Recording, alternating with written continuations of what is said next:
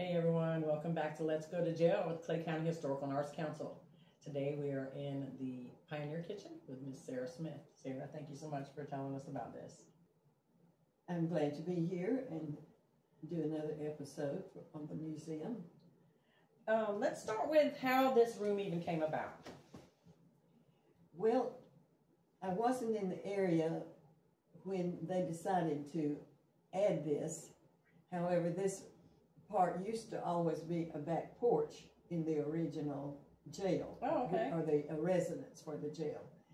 And so I guess it made the logical place for them to be able to add another room to the museum. And understand that this was built in 92. Uh, yes, And um, the funding for that was provided by who? by the Moss Grant, uh, they have always been very generous to the museum. The Moss Foundation was connected with our Moss Library here in downtown Hayesville. Um, and later on, was there a dedication? Well, it was dedicated to Gertrude Price, who was the founder of the Clay County Historical and Arts Council, and quite a, had quite a bit to do with uh, getting this building, which was the old jail, to be used as a center for the uh, Arts and Historical Council. I don't know that at the beginning, according to the minutes, that they really intended to use it just as a museum. They called it uh, Center for the Arts, and they had their meetings here. They did uh, have a lot of historical displays. Uh, many of them at the beginning were uh, just for a short period of time, and then they would do something else.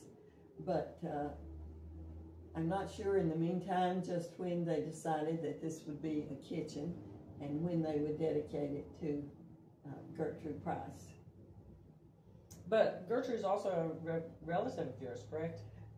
Gertrude is my aunt, Your aunt. and so she always engaged her in-laws, uh, my uncle who was from here, and nieces and nephews to work in the museum. And but of course, when by the time I moved back, she had passed away. But it Oh. was only natural that I Come be a be, part a, of be a part of the museum. Yeah. And since then, I always have um, had a great interest in the museum. Um, so let's talk a little bit about the tableware and where we're sitting now. Um, we are going to go as a tour around the room and give you a little more detail on each uh, item and you know the uses and, and things that, that were done back in pre-electric times. So this was uh, when did electricity come to Clay County? Well, in about 1945 was when most of the county got electricity, though I understand that the, the town and some areas maybe had electricity a little before then. It was rumored that there would be a dam in 1941, but by the middle of 1942, it had been completed. Uh, the main purpose of it then was to uh, furnish, help furnish electricity for the Alcoa plant in Tennessee that was making uh, aluminum for the war. By 1945, they had established the Rural Electric Corporation, which meant that they had be, been able to string electric wires out into the communities and have electricity, I'm assuming, through most of the county. So up until then, even though this is our pioneer kitchen, and I think of pioneers as being back in the 17 and 1800s, Right. but this is pretty much what a kitchen would have looked like in most of Clay County up until they had electricity in 1945, because we did do everything by lamplight. Um, whether it was eating around the table, reading a book, studying, or whatever, we had to use lamplight. And the oil that went in there was that something that they had to purchase, or did that something they could make at their own home? I mean, what did they use? Well, we used kerosene oil, which was purchased, Okay. and I would assume that that's what most people used. Kerosene. All right. And then um, just looking at this silverware, like a three-tine fork, and the detail is gone in here. I'm not sure if this is bone or um, ivory or antler. I'm not sure, uh, but in doing research on it, I couldn't tell. I thought maybe it was ivory, though it looks like it could also could be bone. Um, but it, it is the three prong fork, and these were the uh, the silverware and the, also what's in the case over there. What's this Uh, made of? The metal part. Well, I'm not sure. Imagine they would have to keep sharpening it to get an Mhm. edge on it. But it's uh, as Very was- old, very neat. understand uh, came along about the Civil War era. Civil War. Okay. was the best that I can find. The Civil War era. Um, And I've noticed we've got some beautiful china in here. I'm not sure how old these are, but Well. I doubt that the actual uh, plates and cups are very old. A few of them were here when I got here, just an odds and ends or two. I see. But But it says made in England. uh, I noticed in watching old TV shows that the, the blue willow seemed to be what they were using. And so I thought, well, you know, that's about the I only, see willow ware uh, by Royal China. since we could not come up with the tin plates and things, uh, that blue willow or something close to blue willow was the, uh, the closest we could get to be able, being able to set this So up. this was the most popular china at the time. Well, if if Little House on the Prairie and some of those shows are correct, Right? I Then I- then uh, I would see them using what looked like to be blue willow. this is definitely from Japan. Uh, So yeah, pretty. so these are not. I mean, these are very. These are just odds and ends. Just Uh, kind of pieced together. pieced together to try to give the effect. Well, you've done a great job. They they all pretty much match. All right. Well, um, is there anything else you want to tell us about before we actually start and make our way around the room? Well, uh, maybe just bringing up a little bit about life in the times. Yeah.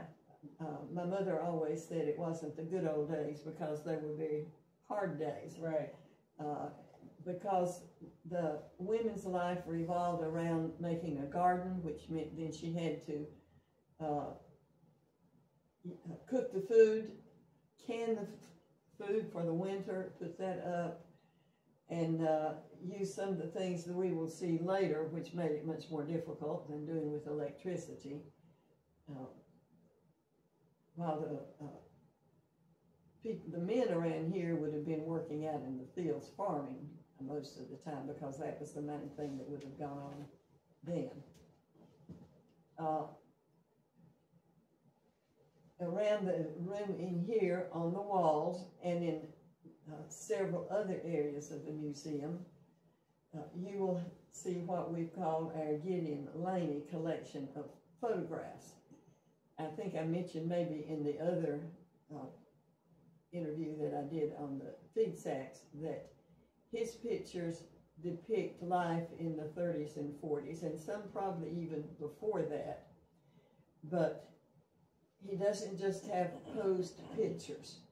He had an eye for uh, showing people as they were with what they were doing, Just and their actually- personalities, Actually doing life, chores or whatever daily Mhm. life entailed. life at that time. Right. And uh, we have a large collection of these pi- pictures. Many of them are up in this room and in other rooms down here, and then upstairs in the cell area. There's a bookcase that has them. And we have this booklet that we keep usually on the corner of the table in the kitchen because all of the pictures are numbered, and there's a corresponding picture in this Right. notebook that will tell what the picture is about.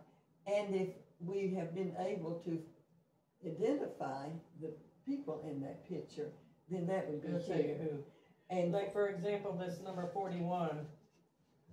What does it say about him? This little guy. and let's see.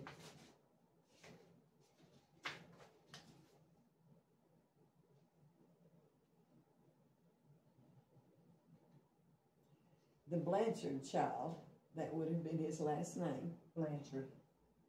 with tricycle and a toy rifle.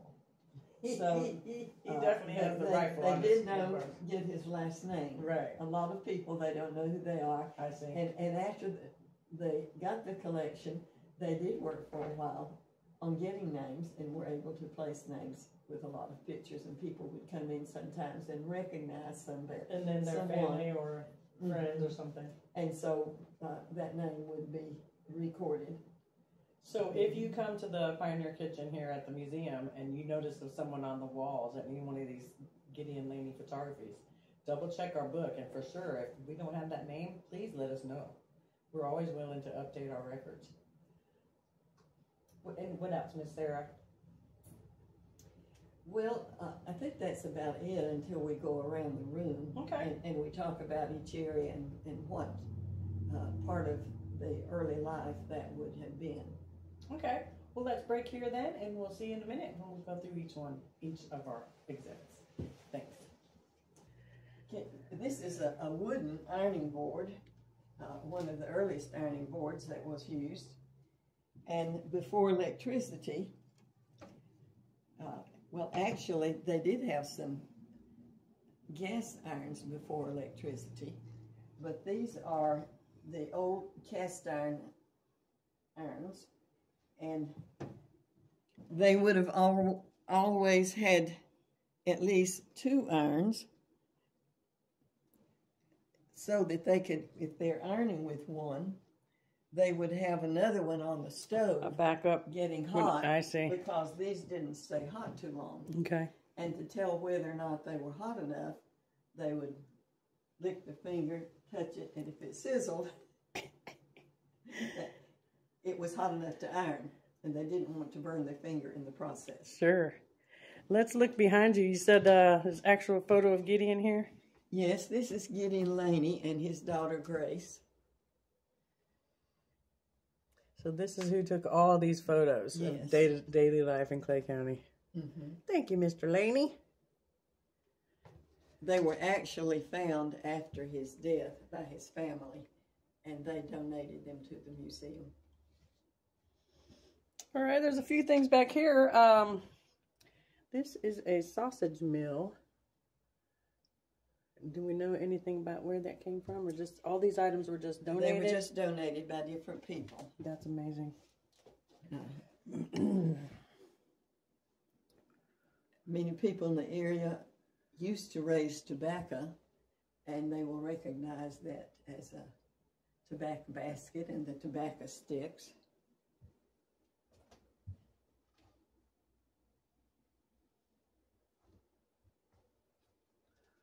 So they would lay after they cut it. They would lay it on this basket to carry it Yes. when they're doing it by hand. This is before machinery, huh? Mm-hmm. Wow. And then probably used that basket when they took it to market, I think. okay. But I'm not sure about that. Uh, I might be wrong. This little collection down here. Of, of shoe lasts, and uh, those are different sizes for the different size shoes that could be made. You see, uh, So they use this as a as a, a pattern. That used it. They uh, put the shoe, the leather on there, and worked around that. that So it's got the arch in the foot. mm-hmm. I see. Amazing. and uh, put little tacks in the to hold the top of the shoe onto the sole. Wow. And then you've got your different sizes. Look at that little tiny foot. and great big foot. So you could get these from Sears and Roebuck. That mm-hmm. That's great. Uh, All right, let's talk about this lady here who looks like our. well, she's in the process of right. making some soup.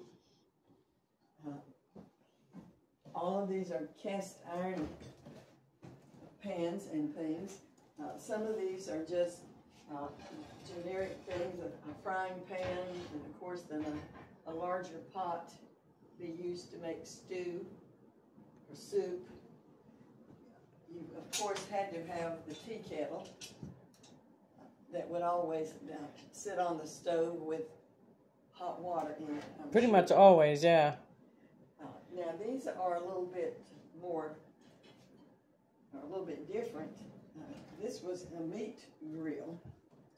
Oh, nice. I don't think many people could have owned a, a meat grill, but you can see that they can put the meat in there. And then close And- it and- and flip it. And it, it has a date on it, which I'm sure is the patent date of 1867. Oh, wow. And, and this, I think is very interesting. It is a waffle iron, which also would be used on the old Oh, nice. cast iron cook stove. Very much the same. And then uh, it turns, let's see. I was thinking you could turn this part over. Right. So up and Turn twist. over. Oh, then cook- nice. Then cook the bottom part. Awesome. Man, they sure were smart. We'll work with that later. What do we know about this wood burning stove? Well, I'm not sure who would have donated this, but it is a it's a very nice wood stove, a little bit smaller probably than some that I remember being in kitchens. Yeah, depending on the house size of the family, you might mm-hmm. need a bigger one. Right, but it's a good size for this kitchen because it leaves room. But but this is the area where the the fire was built. Looks like the wood was put in there, and uh, I think that you would have taken the ashes out here, Right? and then of course the oven.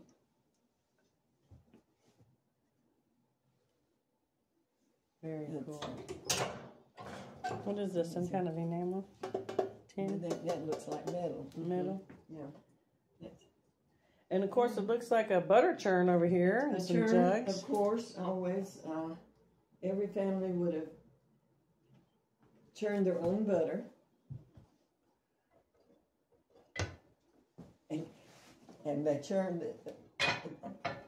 This, well, there's a dash in there that came up and down, and you had to Right. keep doing that. And I remember my grandmother, great grandmother, Always. always sitting by the, the fireplace churning, and I have her churn. You do? That's Yes. wonderful. Great memories.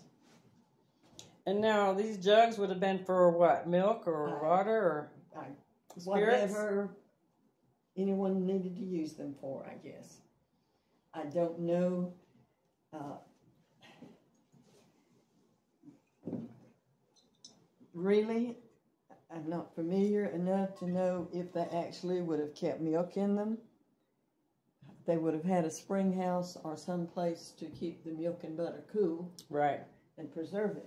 Okay. Uh, All right, let's talk about this stuff here on the wall. This colored glass and what is on the top shelf. Let's start at the top shelf. Okay, uh, that's just a collection of granite ware, which was used in the 1800s to the early 1900s. It's a metal with uh, the, glazed with the blue and white. There are some different colors, uh, brown and yellow and others, but this is one of the most common ones that would be used Was the back blue. at that time. Was the blue swirl ware. Fancy. All right, and now we've got some canning jars. These are canning jars, and if you notice, they have glass tops on them, Right. and they were called lightning jars because if I hopefully I can demonstrate with this one. Well, this is you could put the lid on it, and then you could seal it like lightning. So it was really fast. Yeah, it I was see. fast. Nice. So they they call them lightning jars. Pretty color. Yes, they're very colorful and, and they are uh, collectible. Atlas. They they have different Easy dates seal. on them that would be uh, the, patent dates and Atlas. Easy seal. And then there's a ball. The rest are balls. Two Atlas. Very cool. All right, and then this green glass oil lamp. That's beautiful. Look at that. that was given to us by uh, two ladies that used to come and visit the museum about once a year. I think both of them have since passed on. but they wanted to do, uh, donate it in memory of their father. Explain this invalid's cup here.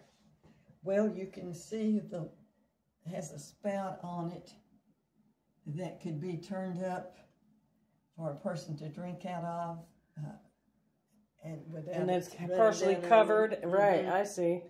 I've also seen cups similar to that, or maybe like that, called mustache cups. Hmm. I To keep their mustache out of it. They, they nice. could drink out of it without getting milk or whatever they were drinking on their mustache. Now this gets me excited here because this looks like a bunch of cookie cutters. Yes, and they were donated by a friend of mine that has donated several things in the kitchen. And she donated the cake pan, uh, which uh, I think- Is this one that has a center? What is it? The band comes out, or no? Is it all solid? I, I think So it's not like a what do they call a spring something? no, it doesn't. The center doesn't come out, but um, But it's like for a butt cake Mm -hmm. for this. uh, and, and it does have um, the name of the company on the side. Not a year. I was thinking that I had seen a, a year on it. Maybe I just She may have had that information found- for you. and Yeah. found the year. Uh, and don't Look. have it up there. But these are Diamond stars. yeah. Looks like a lion. I don't know what on that guy middle. is. I guess he could Bear. be however you wanted to decorate. Pigs and them. cows and dogs and so cute. I bet you they had made some yummy cookies. All right, let's keep moving around here. This is a painting on the wall here uh, by the doorway that says Mission Hill, Grist Mill, and Shooting Creek. Owned and run by Jack Penland. That's pretty neat. Mhm. We don't know who painted this. Let's see. Not sure what that says. No, I'm, I don't know. MJ So- somebody. Someone uh, brought it to the museum, I think, and gave it to Molly one day, and she might Hung it right up. remember who that was. All right. And then what do we have here? All right, this is a corn sheller, and it actually does not belong in a kitchen. It would, would belong in a corn crib. Right, okay. But it was here, and there was no other place for it, and so we just left it. But uh, people So that basically the cob goes in here? the yes, the the ear of corn with the before it has been shelled goes in there, and you turn the crank, and and this wheel turns. Now, this is a kind of a fancy one because not all of them had wheels and things to turn. But then a, it would have a sack at the bottom to catch all the Mhm. corn. uh, yes, And then a The- place the where corn the cob comes out. that would come out, and uh, then you would have the, your shelled corn to feed the, probably feed your chickens. Mm-hmm. Pretty ingenious. And this is called a Keystone Keystone. corn sheller. And this says circa 1880 to 1910. So we've got some old stuff in here. Let me point out this. Okay. Uh, we do try to have things in our museum that either are from Clay County What or, in the world or is they are that? things that could be used in Clay County. Right? Uh, but as I understand from Molly, we had uh, some people visiting the museum. I think they were from California. I might be wrong, but anyway, they told her that they had an antique vacuum cleaner, and they mailed it back to us. And That's even awesome. though I don't know if anyone in Clay County had a vacuum cleaner like this, but it So you just put the little hole on the whatever's on the floor and then pull up on the. I guess. It, mhm. Maybe you Wow. only picked up certain things you may have spilled on the floor. I don't think you could vacuum the whole floor with it. Right. But it Talk is about wearing your arm interesting- out. Mhm. It is Wow. interesting. So uh, we have left it in the kitchen for people to see. That's amazing. And this has got a patent in 1911.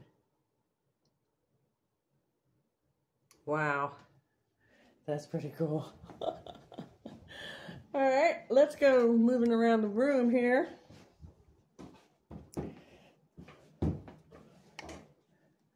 More of uh, Mr. Laney's photography. Yes. And look at this old high chair. How cute. so little. All right, we've got another collection over here. And these are candle holders, and they are definitely old, antique. Wow. Um, the,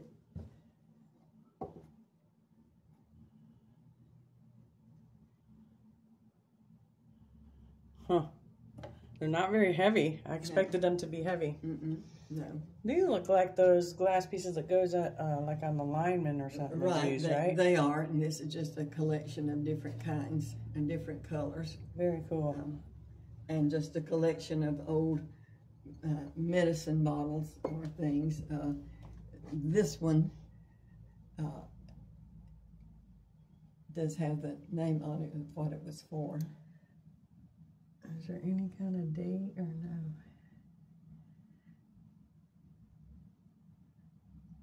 Ten percent alcohol. Oh, it's got prepared for who? So they made this right on the spot for whoever needed it, huh? It's, I think so. Wow. Mhm. And then is this the same? The This is just more of the oh, old. these have the actual wire on there. that has that has old wire on it. Interesting. All right. Well, let's go here to the rest of our cutlery All right. that we so- started talking about. Mhm. This is another collection uh, given by the same person that gave this silverware and the other things over there. Um, and this is just a, a little more of it, and uh, it's in a little nicer shape. And the only couldn't find anything definite about it except that it was from the Civil War era. Notice that the forks have more prongs. Oh, right. Yeah, they're four they pronged. have four prongs, and these almost looks like little prongs. crosses on them. Mm-hmm. Very neat.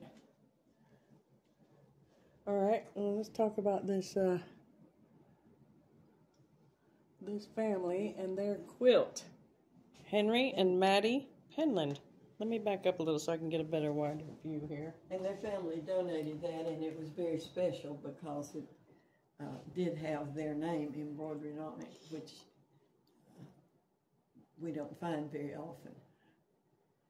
I think that a crazy quilt. I think that's what that is called A crazy quilt. because it just has the different shapes cut out. Oh, right. I see. It's not so it's not all uniform shapes. No, But look at all that hand stitching. and I'm sure that that's clothing that they had uh, outgrown or that was worn out, and they took the good parts out and cut out pieces to make a quilt.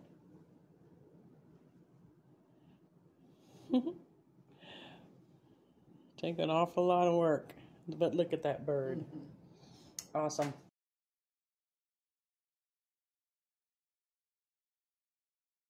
We're welcome our museum docent Molly in here to tell you a little bit more about this Penland quilt. Okay. Um, this quilt was given to us by a local family.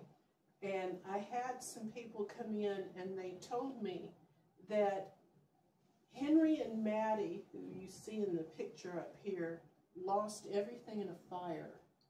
And so their friends and family and the members of their church made this quilt for them back in 1909. Very interesting. I didn't see the date until you I- said that. I didn't either. I thought the date was on it somewhere, but I couldn't find it. I see it Yeah. now. Made year 1909. Mm-hmm. And that's why they put their name on it because Yeah. it was a special gift being made It was a for them. special I see. gift for them. Well, thank you for that, Molly. This is just an old cabinet that was donated. Not sure of the age of it at all. I have no idea. But the interesting things uh, are the things that are inside it. Uh, we mentioned how making butter was so important, and we showed the butter churn. Uh, this is a butter mold, where they would mold the butter in there.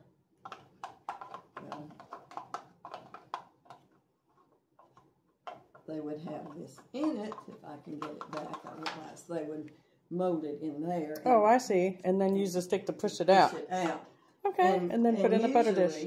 usually- from the molds that I have seen, this top part had a design on it, Oh, right. and then it made a design. So it'll be pretty. the butter, yes.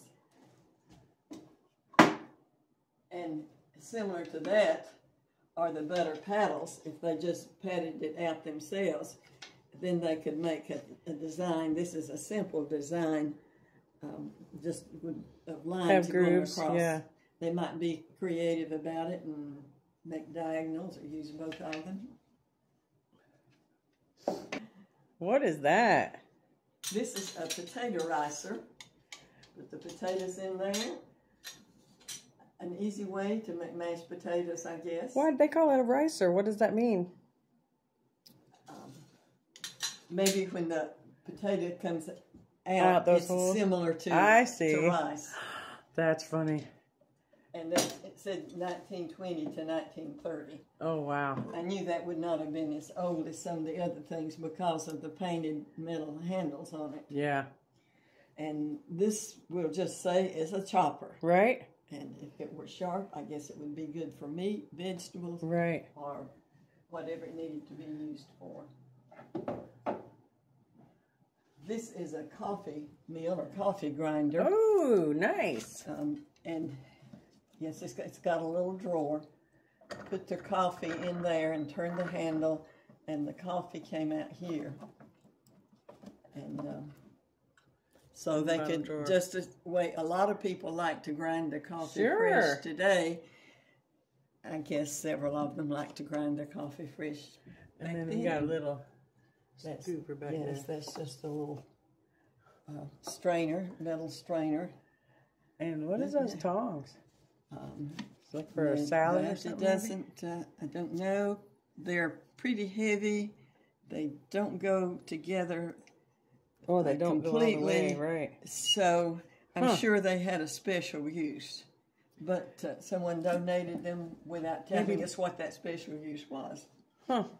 I wonder if that was something like picking up a hot log or It, it, it could something have been. small for in the. What do you call it? Yes, it may not have had anything to do with cooking at all. Right. All right. So let me see this peeler over here.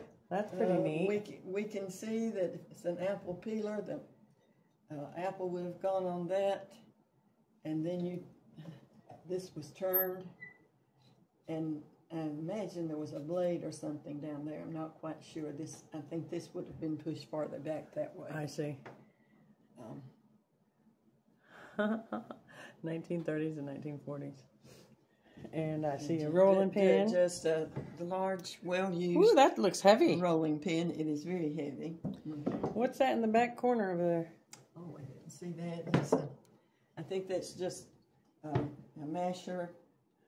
Okay. Huh. And then we've got some more pottery or some stoneware. Yes, this is a salt glazed pitcher that uh, the Moore family donated.